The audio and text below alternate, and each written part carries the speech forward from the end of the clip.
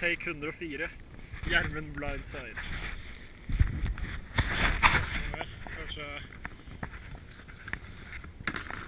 Ja da! Fy faen! Det her blir et bra sesong. I Can't trust anyone.